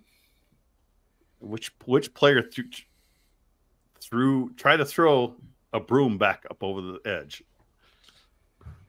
That was that was quite the interesting weekend, though, Brian. I remember being there, and it was at the old DECC, and all of a sudden, just this these brooms just come flying. I don't know how these kids snuck them in. They probably just let them take it in, but full full on, you know, five foot brooms flying out. Visiting brooms are not allowed. Home brooms usually are okay. Oh, They just, they're just trying to help clean up their own rink after the game, right? I mean, yeah, he's coaching. Holy Family. so- Holy Family. Okay, so Oops. He's remember being Ballard, but it could have been a dream. maybe maybe it could have been both. Maybe Ballard I could have done it Western one year and Western gone. did it another Yeah, year. Western was gone because this was after the titles, and Western was a late '90s guy. Okay. We've got so many memories over here, Brian. Yeah, we we need to get to Penn State though. But what's the chance of getting? You know, we could probably only go with media Vigs. I don't know if we could get in there as a fan because getting a ticket is is difficult. Yeah, what's the It's- what's the ticket like there, Brian? Yeah, I, I think there's. Look, every game is officially a sellout, but there's also a secondary market. Um, Yeah, Some games, yeah, that secondary market is hot. Like, like if Minnesota's here for a wear white game, anytime Minnesota's here, I think the secondary market is high, but it's not like otherworldly. I, I would say thirty to fifty bucks get in, um, reasonable. Now, now, like if it is a, a sports weekend and there's basketball and maybe wrestling at home too, and there's a lot of people coming into town, yeah, you you may be in the 100, 200 range. Um, just Myers always comes with a credential. but Jupe likes to go on a Rube trip on some of these road trips as well. I, I still like to go to at least one game a year as a fan. You you Just would be- love it. I mean, I- it is. Yes. It, it is. It is the right size. When they did it, it is Yeah. the right size. So if there's a non-conference Thursday night game ahead of a football weekend against Canisius, and yeah, maybe announced as 5,800 in the building, but there's 3,800 in the building. You don't know. Like, like there's always going to be the student section is always going to be a majority of it filled, and it's bleachers. So if it's not, you know, 900 students there that night, and there's 700 students there or 600 students, still looks full. Um, and and you know you get the low tin roof. Uh, it's not the concourse isn't open, so if you're on the lower level, you can't see through. It traps the noise. It is it is a great it is a great place. Are you listening, watch- Ohio State? game. Are you listening, Ohio State? Please, If they if they ever got anything, if they ever got anything like it with what what they've accomplished for Steve Rohlik playing that, you know, it. I mean, let's be frank, it, it's a morgue. I mean, it mm-hmm. is a morgue. What what they've accomplished and, and their practice situation, everything is honestly unbelievable. our fingers are crossed. Well, Well, Ohio that's State it. women's hockey too. Like oh, the women's hockey. the is- Dean has just built a juggernaut over there. Like they came here to play the Gophers two weeks, uh, three weeks ago, and won like fifteen to one over the weekend or something like that. It's just ridiculous. Like she's done You know, such I a great job there. the Westwood one we did the women's Frozen Four one year when they hosted it here at Penn State. Um, so we're going through. I did with Kendall Coyne Schofield, and we're doing pre-production meetings. And Nadine walks into the room, and, and what like a presence she has about her. She is like she could coach any level, any gender. Like she's a little scary when she comes in the room, but, but she's like she she draws an immediate respect um really, really impressed with what they've done, and it's on her clock. Like th- those production meetings, if it started at eleven forty-five, but they had another ten minutes of film to watch, they're watching that film, that film first. Um, yeah, what, what they did with that rink that they play in Oh, for women's gosh. hockey and what she's That's- accomplished there. And right, it is a different era with with NIL and all that other stuff. Like, like Yeah. I'm sure that plays a plays a factor. But what she's done there is is really phenomenal. But Vegoe and I played adult league, D league, in better arenas than they did, or they do still. Yeah. It's it's it's and like I said, they do want to build a new women's facility, and and like Vigs and I've been talking about, if they could just bump it up a little bit and make it a Pegula sized arena, perfect for. And Ohio State has some hockey guys in place now that hopefully see the vision of let's do this once and do it right, Mhm. and and get both our programs in good spots for the next fifty years. You just have to hope they have that perspective and get it done because Ohio State's got plenty of money, and they can't put it all towards their NIL. You know they got to spend it first, then they can redirect the donations to their NIL group. We'll just have to wait and see. I, and, you know, you think some of the phase two changes here of Mariucci Vigs, they might be removing seats as well to have more high end, like you know, areas. I mean, they have the one little area down below the ice. uh, Ice, they've got the, the suites, but they they want to make some adjustments too, and maybe not be such a big ten thousand five hundred seat place. Yeah, I mean they've talked about having some areas that are kind of more like lodge seating, like with couches and special Mhm. drink and beverage service areas or high tops for people to gather and socialize during the games. Because I've always told people it's like winning is not a sales strategy for tickets. You know, you have to create atmosphere and experience and and and sell that because you, you're not going to go to the Frozen Four every year. and so you have to create that experience of the rink that people just want to come and gather and spend time. Um, and I think that's where we're going with a lot of athletics right now, and that's that next phase. You know, you look at all the facilities here in the Twin Cities. The University of Minnesota is struggling with their basketball and hockey facilities to compete, and it's just something they have to do. I, think I agree with Penn this, State- Denny. Bench seats for the students. Yep. It it it makes the student section here and it was a huge like running joke as they built it but it is as steep as code would allow. So they're they're just it's bench seating. They stand on the benches the whole game and they're just so engaged in the one end. Um, and I think like Mariucci, when you're there for a big game, we were there for the Big Ten semifinals, and to watch the Michigan and the Gopher games uh, in the Big Ten tournament, like like that student section rocks, but it just doesn't have that that intimidating feel, you know, even that Yost has, where the students are on top of you on the bench seating, Penn State has because the, the way they're structured. Um, They're not on the, The glass. environment. That's why they're not. They're they're not on the environment- glass.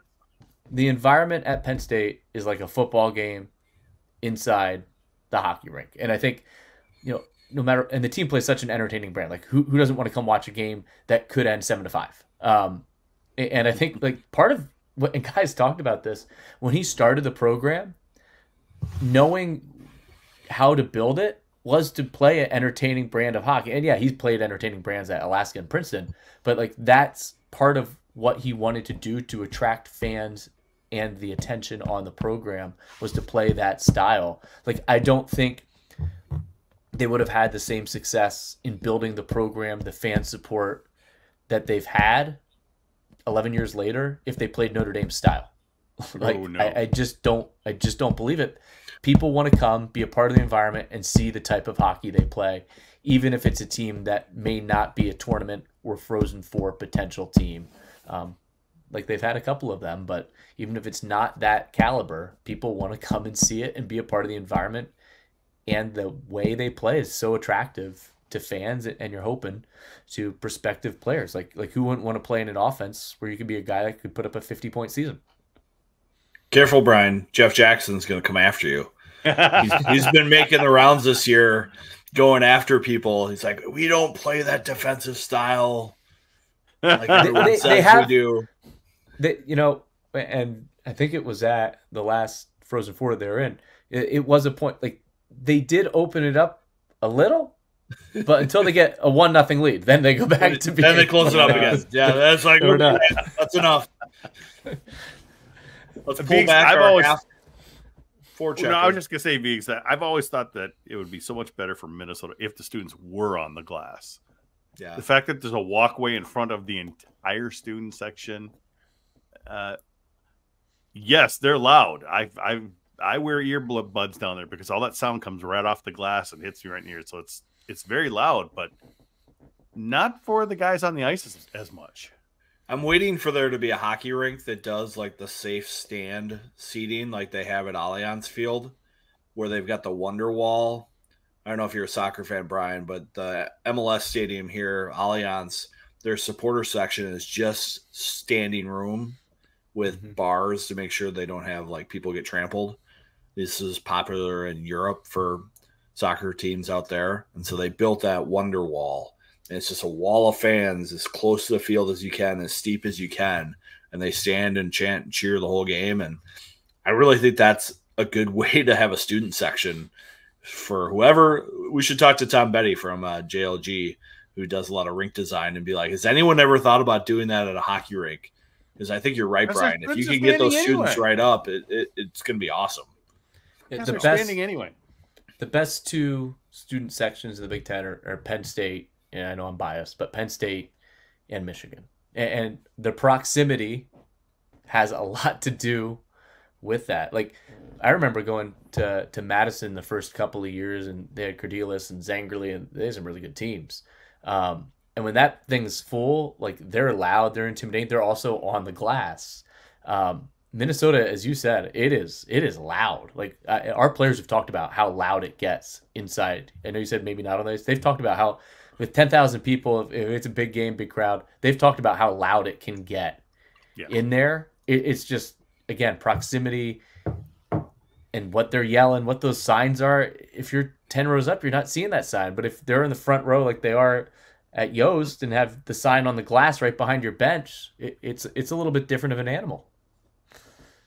I love the Humpty Dumpty one that, that's happened to Motzko a few times. Yeah, Carl Makes- Fish was talking about that today. He's just like, "Yep, we see those signs. They're entertaining. Good job, everyone. Keep it up. It makes it fun." But he's just like, I, I he loves playing the villain, and he loves going to buildings that are full. Brian, have uh, the NCAA regional campus site discussions hit Penn State with as much fervor as they've hit the GPL podcast? Uh, maybe not yet this year, based on just the success I think that Penn State has had as a regional host. Uh, you know, they hosted in Allentown, which is about two hours, 45 minutes from campus here, um, but it's 90 minutes west of New York and 90 minutes, if that, north of Philly. Uh, actually, I grew up there, Lehigh Valley, and Penn State sold it out. So, you know, I, I don't know that it's resonated as much with this. Like, if you're hosting the regional and you're playing in it and you're selling out your arena as they were last year, uh, it was it was a huge. It was like a, it was another home game for them. Um, the first time Penn State made a regional, it was in Cincinnati, and you know Penn State had a nice section there, but there was a circus the week before, and it still smelled like the circus Oh, in the bowels of the in the bowels of the arena. Um, I am pro having it. I think what makes college hockey great is the students, the fans. Uh, I, I think having it on campus is is ultimately the way to go. But but has the discussion gotten here maybe as close as it has other places? Uh, no. Uh, part of that might be with Penn State kind of outside the bubble right now, and then another part of that is the success they've had as a host. I was just trying to think what the other game was for that regional. Was it? Last year, I, I- didn't Cappy get sent there? I think Cappy did get sent there. It was Michigan was- and Colgate was the other game. Mm-hmm. Yeah, Did Cappy you- was sent there with. uh Do you remember what that game was like at all for attendance? Yeah, it was still pretty good. Um, it was actually the second game, so we thought you know you put Penn State second. Uh, like we always anticipated being the night game, Mhm. and that way people are going to file in, uh, have their beverages for the game. You know, watch. You're at least to watch second and third period. But a lot of people after Penn State won, a lot of people stuck around either to root against Michigan or at least see part of who they may play. The atmosphere at the beginning of that game was pretty good, and Michigan's the same way. Like I think anytime you put Penn State and Michigan anywhere, people are going to come. Probably like in North Dakota, Minnesota, uh, but especially in the Lehigh Valley, like Michigan's alumni network in New York City is huge. Um, so to be like in a area in the Mid Atlantic that's great proximity to places, that was a good good host site. Like Cincinnati is not a great host city. There's there's nothing with college hockey there. Uh, it's far from everywhere. Who we were there. Denver was there. Michigan Tech was there. Like I I think it depends on the teams in the locations. Is Loveland, Colorado great? If Denver's not playing, probably not. Um, it- it's- Maryland it's how they choose it, and proximity, and some of the state of some of these rinks. Um, yeah, But it's it's, I- not great. So that's why re- I, I support on campus 100. percent Yeah, I just think when we start cherry picking regionals that work well because a team gets placed close to home and has that home home site support, Yeah, if you're a four seed going against the one seed, works, I, I just think you know David Carle did a great job explaining this to Adam Wodon. He's like, why are we bending over backwards to like cherish the success of attendance when someone gets a regional and then makes the tournament and then wins and gets to the next round of the tournament so that they have fans at both games. I think when that's your positive outcome, that's not great for college hockey. If you could have it in mm-hmm. Nashville for a regional and you'd sell out the building and there's no local team and people just want to go to Nashville and watch college hockey, that would be a sign it's working. If you want to send the games to, you know, Anaheim and you sell out a regional, regardless of who's playing, that's a sign that it's working. When you have to like cherry pick these good examples, hmm. like even here, we had St. Cloud be the one seed at a regional at Xcel, and the games were terrible for attendance. You know, that's a local team that should win and fill up at least the lower bowl. And I think they were getting like six, seven thousand fans for those games, and like two thousand for the game that St. Cloud wasn't playing in. It's just a tough sell for me. And in the when you talk about competitive balance and competitive spirit too, is it really fair to be rooting for Providence, you know, as an example, to sneak in as a four seed just because they're going to host in Providence? And being a four seed having that home ice against the one seed, like is that truly what we're what we want to achieve and take away from a team? To earn a number one seed's unbelievably difficult and they should have they should have a competitive advantage and putting them on home ice is a competitive advantage of that Well, and Providence is a regional this year, but Mhm. Providence isn't the host. So theoretically, if they Yep. get in as a three or four seed, and they're probably still going to get placed in Providence to help attendance, that makes no So- sense at all to me. But at the same time, excluding them from playing there because they're not a one or two seed doesn't make sense either. Because then, how do you get teams to bid for regionals? It's yeah, yeah. You don't have bids for regionals. You just go to the home rink. Problem solved. Problem More solved. bidding. Should be great. So we're trying to keep that conversation going here at least. And with every person we get on, we just want to get different perspectives because it it can work if a team makes the NCAA tournament and they have strong support. And I know Penn State staffed that regional very, very well. You know, it's a P5 institution with lots of staff that can make it a great event it would be even better if they just had it for their home game. I, And- I'm, and I- I don't I'm think scared sending- of Maryland Heights, dude. I'm scared of Maryland Heights and Lindenwood hosting that. I, I don't think sending four teams to a number one seed is the right thing either but you have that extra week in there everyone you know ncaa's chartering like find the money if it's a Thursday, Sunday, a Thursday, Saturday, you, you fly. One team has to fly somewhere one weekend, or you just use that extra weekend. It's one game. Eh, you know, you have to make last minute arrangements, or you add an extra weekend in there wherever it is. I, I think I think that's the way to go, and you know, I, I don't know that sending four schools to a number one seed site is also necessarily the solution. Well, well Vigs, you know, we've even talked about we have all this time off in December where other sports like basketball doesn't have that big time off. We could still have the two week break between, you know, you know, those final games to go to the Frozen Four if you just play more games in December, but play one more weekend in December. Well, and I I think we're also I don't think this is going to be talked about this off season, but I think in future off seasons, why is the college schedule so condensed to these 36 games? Um, just thinking off top of my head, I think Major Junior plays like 60 games. USHL, they play a well over 60 games. Why are we only playing 36 in college? So I think I, we might see condensed games and we might see, you know, teams where they might play three games a week or something like that too.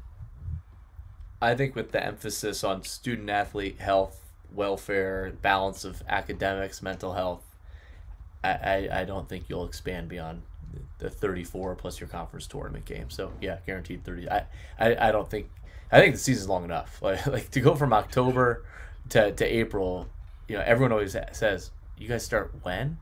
Yeah. Like, you, you start well, yeah. I don't I don't think the season needs to be longer but I think you could probably fit in a few more games somehow. So don't take three weeks off in December. Yeah, if they don't take three weeks off, you know you've got time for some extra games, and you still have a week off for exams. So something I think might be coming down the pipeline for a later discussion because I know that when I listen to all these arguments about pairwise, you know some schools claim it's like well we can't play enough games to really evaluate who's deserving certain seeds more than others. If you play a couple extra games a couple extra non-conference games maybe that helps solve that. I don't know because i think college hockey is a great product and it's going to be competing with things here so well, I think that's kind of your key right there, Vigs. You know, you want to celebrate the product, and you have an NCAA regional when you know, a regional finals being played on the East Coast with two Western teams in front of 1,500 people. And it's on ESPN, the Ocho, or whatever. And some kid sees this and, like, I thought this college hockey thing was crazy. And then they see nobody. That's kind of what Schlossman was talking about in his article. You're not growing the game if you, if you know, some Canadian kid who's interested in college hockey looks at the playoffs says, well, that looks kind of boring and diseased. Yeah, Brian, what what is kind of the typical recruit for Penn State? I mean, they they are pretty national. It's all over. A lot of junior kids. I don't know how many Canadian kids they get. You know, the Michigan schools tend to dip into Ontario quite a bit. Denver looks in the BCHL. So does North Dakota. Have you kind of identified what their kind of pipeline is? Yeah, I think you know, unlike a Minnesota that's recruiting all Minnesota kids, Wisconsin's kind of Minnesota, Wisconsin. Um, your your BCs, BUs, they're they're making sure all the best players from New England stay at home. Uh, Penn State, if a, a really talented player is in the state, the goal is to get him and keep him. Um, you know, they've had some success in Philly. Uh, usually three, four kids from Philly a year on the team three, four kids a year from Pittsburgh. I, I think Pittsburgh, you know, it's always produced good players, and Ohio State's done a really good job. Pittsburgh too, uh, R.J. Umberger. Um, but you look at Pittsburgh, and I talked about it earlier with the growth of their Penguins elite. Um, and the kids who have grown up with Crosby, Malkin, the Penguins, and all the success they had, like they did a really good job of building youth hockey. And that if you're from Pittsburgh, you play hockey. Like a lot of a lot of people at Penn State, you know, they come to Penn State, which is in the middle of nowhere, from Pittsburgh and Philadelphia. And if everyone that I know that is a, a student or was a student. I went to school here. Anyone from Pittsburgh, they all played hockey growing up for the most part. So so that is a hockey area. So so Penn State right now has really focused on that. But then across the country, you know, USHL. Not it doesn't matter what your home state is or where you are from. Uh, Limoges was from Virginia, so that's like a great. Hey, if there's a good kid from the DMV area, we're, we're gonna get him. Um, but it, it's been national, and then the success they've had in Canada is Toronto, Mississauga. They've had some some good kids come out of there. Um, if if you can get a kid like a Holtz from Wisconsin, that that's awesome. Um, but they've done a good job, and Andrew Sturtz was a part of this, and he's now here as an assistant coach. And you know, Byro, they've got it, and I think Guy's Connection helps. but to like Sherwood Park and AJHL and going back up to Calgary, and they've done well there. Um, and then they've done pretty well, and they've gotten some good kids out of the BCHL. So so they they really are a, a national and international. You know, this year they don't have the international flavor that maybe they had with the audios. Um, in the past, Eric and Oscar, Smirnov, Pavlychev, you know, but their connection being Russian was that they played in Wilkes-Barre, Scranton with the junior Penguins team or the Knights, the Knights team there. So they kind of had a Pennsylvania connection already. It was them and Provorov were on the same team, and and you know Penn Penn State wanted Provorov, but but I think he had he had a little higher expectations. He's going right to that. He's going right to the show. Um, so yeah, it, it's keep the best kids here recruit nationally. You know, if there's a kid maybe who doesn't want to stay at home and play for Minnesota, play for Wisconsin, stay at home in New England, try to get him. Um, but USHL, Alberta, and BC. Who was it that left Minnesota? Was it Brinkman? Brinkman went to Notre Dame, right? Yeah, Brinkman's at Notre Dame, Stoddardker's at Northeastern. But All uh, we have is who left- Lampa from Minnesota right now for us. Who was there previously? Gosh, Clayton Phillips. yes. Yeah, yeah. They they did He him. was the, dirty yeah, he was the one who was brought in early. They brought him in mid-season because he to was try to fix some things. That's right. Because that was the group that really struggled at Penn State defensively. and uh, it's funny. I was talking with a coach uh, this week about recruiting, and he's just like, you know, you usually don't want to bring guys to college to find their confidence if they're struggling to find it somewhere else. He's like, because once you get to college, it's not an easy game. You know, at the age of player, the experience, the systems, the structure, the competition. It's not a place to find your game. It's a place to have your game going for you and humming and expand on it. Hmm. Yeah. I think with Minnesota recruiting, like you're starting to see Minnesota just go national. Like they're still always going to go after kids in Minnesota, you know, target the top talent, but you're starting to see Bob start to go, okay, I'm going to grab Matthew Knies from Arizona. I'm going to grab Logan Cooley from Pittsburgh, from Notre Dame and Penn State. You know, I'm going to get LJ Mooney. Um, he dipped his toes into Iserman out east, and he decided afterwards to go back home. But you know, I think you're going to keep seeing Bob reach all over. You know, he's got some kids from Mount St. Charles coming, and uh, they're looking all over.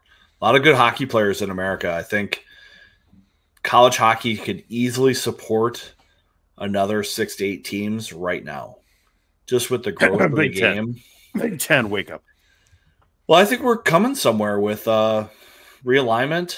You know, are we going to see a summit league? Someone's got to take all these new teams like Lindenwood and LIU and Augustana, or you know, Stonehill. CCHA, yeah, Stonehill. CCHA is doing their part, and CHC is taking St. Thomas, you know, or whatever.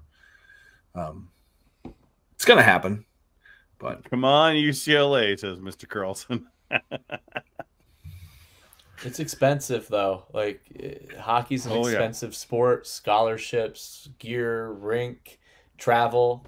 It- it- like what? How Arizona State has made it happen and being an independent for a while and eventually joining here, but it's travel. Like how how the Alaska schools were somehow able to to get funding to come back is pretty remarkable. You know, Huntsville, same thing. It, it is so far. well, Penn State set the model. it's get a hundred million dollars, build a build a great rink, put all the infrastructure Fully in, endowed. endow it, you know, Arizona State couldn't quite do that. And you're seeing other schools kind of bootstrap it up differently. But like the Penn State model is what Illinois and Northwestern should be able to do. You know, that's that's who they should be targeting to, to figure that out. And just like Ryan's saying, you know, USC, UCLA, Oregon, you know, they could do the same thing. There's donors out there who could do it if they wanted to. You know, Will Arnett could probably sponsor USC and UCLA if he wanted hockey in the in Southern California. You know, Phil Knight easily could do Oregon if he wanted to and set them up for success. And I think, you know, having these campus sites for the tournament would only help. Oh god. Because hockey is a ticket sale, self-sustaining model once you get it going. You know, you know, it costs probably three million dollars a year to run a hockey program effectively. You know, maybe four in the Big Ten with all the travel, but it's sustainable. with with attendance, parking, concessions, suites, season tickets. Penn State has been po- now you know basketball. You're making money because TV contract, um, but Penn State hockey has been in the black. It's not it, you're not getting rich, but being endowed and having your arena, they're in the black. It's not by It a ton, always- but they're they're in It the is black. always harder to prove that for me because that Penn State, uh, Pennsylvania records law that they have, so everything's a little more hidden over there. But but I'll believe you, Brian. Mr. Mr. I get the records from all the public universities and I've been known to do a Freedom of Information Act request from time to time. So Penn State usually turns me down. They don't have to. So You're going after the money, Beach. You're going after the money. Where's it going? What are they making? well, the U the U released their uh, finances this uh, month, and they extended Mark Coyle to another two years here at Minnesota. So things are looking good in the Big Ten. It's good to be in the Big Ten or the SEC right now in college athletics. Uh, I mean, there was a time, Brian, in the mid 2000s where Minnesota was profiting four to five million for men's hockey, and they were million, little, literally, you know, North Dakota was like second with like two million somewhere in there. It was way, it was just way out of proportion compared to the rest of the schools. A little different now, but I mean, you're clearing four and five million. That is a big chunk, Vigs. Yeah, and it, it used to be more, and uh, U of M doesn't get parking revenue, as as Denny Gopher. Nice, nice to point out here, parking's a separate entity at the University of Minnesota, so that revenue doesn't go to athletics. But uh, the numbers have been pretty good here at Minnesota for the last decade. years, yeah. You know, I I think uh, there's still some room for them. It's not quite quite what it used to be, but Well, they had a bigger te- Looking season forward to- base. The season Yeah, ticket base was eight thousand back then. It's it wasn't. What's the season ticket base now, or what has it been the last couple of years? it's been about five. So five to forty five hundred. So And I- you compare not that too to eighty five hundred back in the two, mid two thousands. well, because they capped it because they wanted to have season ticket, yeah. you know, single game tickets to sell. So So yeah, it was it was it was a different beast. I got a one question that I, I probably should like pack. Um, Me too. I'm tired. has anything changed with the way Minnesota plays, or like Mariucci? Is it different now? It's a 11 feet in width. Small, like was it 89 by 200 now? it is eighty nine by two hundred. I Anything think the changed? biggest Have you- thing have it noticed it? forces is their power play has to be more aggressive.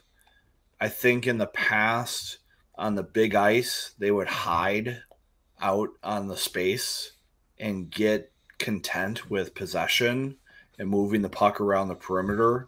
I think with the rink narrowing, they have to be more aggressive and they have to be more chaotic with their power play. And it's helped them be more consistent home and away because you always used to see them go on the road and struggle on the power play because there's just less space.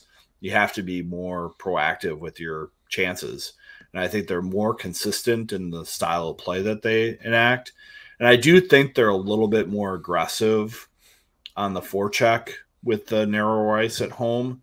Before they were more content to set it up and let the dance come to them rather than go to the dance on time.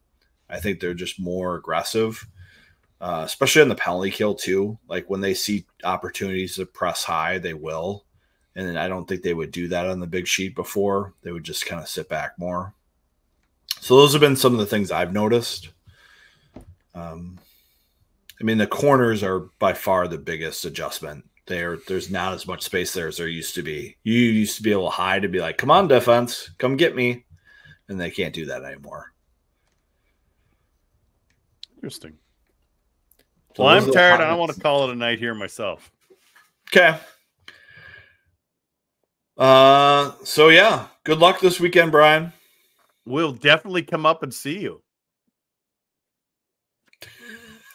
He's already disconnected. Thanks for having me. Appreciate it. My, I think my AirPods might have died. I think right I on time. It's all right good, man. We'll come up and say hello. We're we'll, we're right next to you anyway for the radio, so we'll come up and say hello and introduce ourselves. Thanks, Brian. All right. Bye, folks.